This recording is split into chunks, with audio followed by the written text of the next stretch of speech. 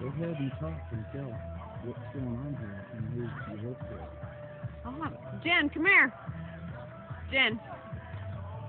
He wants to put this on the city's page because he loves seeing people utilize the park. Oh, I so would love that. I'm gonna So- see if I can do it. Hey, that would be wonderful. Thank Here, you so much. videoing. Okay. So go ahead and introduce yourself.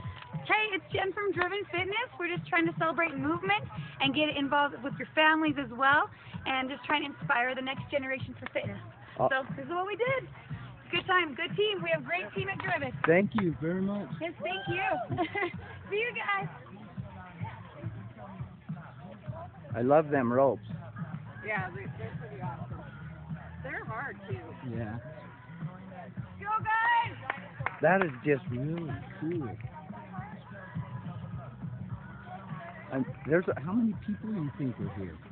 Um, I would say 30. I'm not sure how many families, but we started out with flag football as a family for the the warm up. So we did three rounds of that, and then they had stations of rope, bear